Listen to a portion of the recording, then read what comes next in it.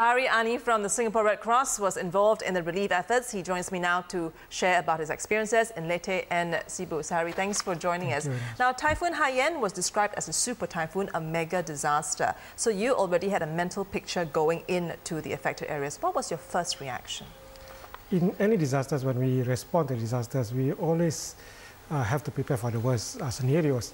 Uh, similarly, for Typhoon Haiyan, when, we was, uh, when it made landfall in, in Leyte, it is a super typhoon category 5, uh, the, the biggest, the deadliest typhoon in the history of Philippines. Mm -hmm. So we actually have prepared ourselves to face the worst case scenario in, in the location.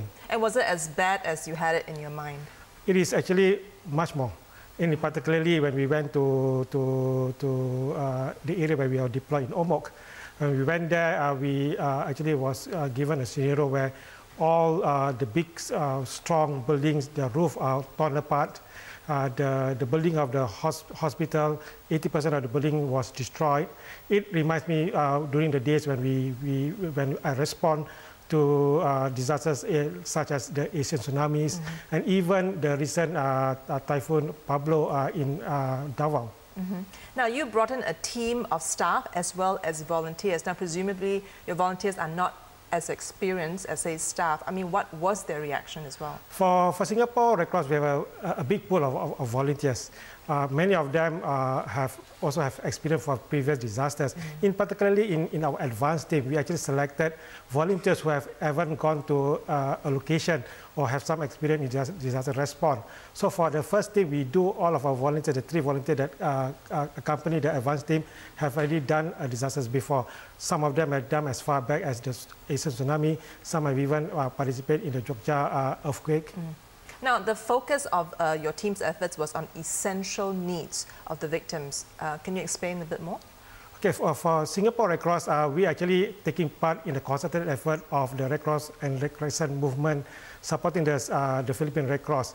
Uh, collectively, uh, the Philippine Red Cross uh, plan to provide basic food items, waters, to provide med medical services, to provide shelters, to hopefully to, to reach out to more to 100,000 families. So for, for Singapore Red Cross, in addition, uh, we believe we can uh, contribute uh, by uh, deploying our medical team to provide uh, the, the basic medical care for the affected communities. Now, I mean, uh, when you went there, I mean, all the basic infrastructure were pretty much wiped out.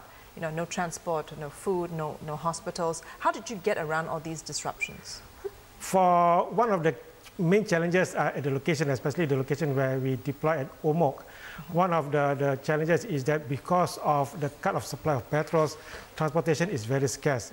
Because we have been uh, we working very closely with our uh, Philippine Red Cross, they're actually able to mobilize uh, uh transportation, decent accommodation for our uh, our teams uh, who are deployed there. Right, and could you describe what was the general mood of the community? For the Philippine Red Cross, what actually, I mean, we, we, we personally for me, I respond to many disasters in Philippines. The amazing about the people of, of, of Philippines, they are so resilient. We can always see uh, the, the, intensity in their face, but they never fail to, to portray the warmness. And, and, and, and they have always this a positive outlook. Uh, whenever we, we come across, we provide, and they're always appreciative of whichever uh, small help is given by, by the locals or by the international communities. All right, so Harry, thanks for joining us. Thanks for sharing you. your experience. And and to donate, you can visit the Red Cross website. The URL is now showing on your screen.